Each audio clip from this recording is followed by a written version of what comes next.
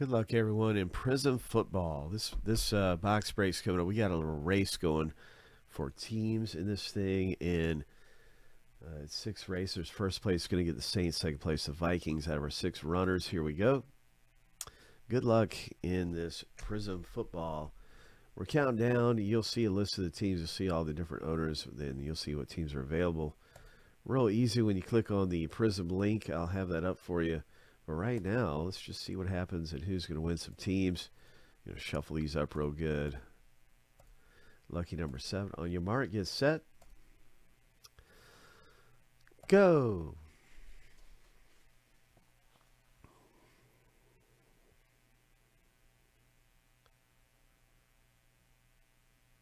Craig, you're looking good, bro. You're up front. Bombs away just took the lead. The blue shoes have been lucky bombs away. Blue suedes, man.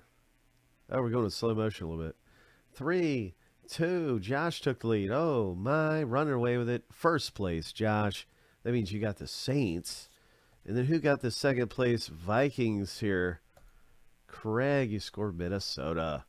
Congratulations to you guys who just won teams for a fraction of what they cost in the break. You just scored.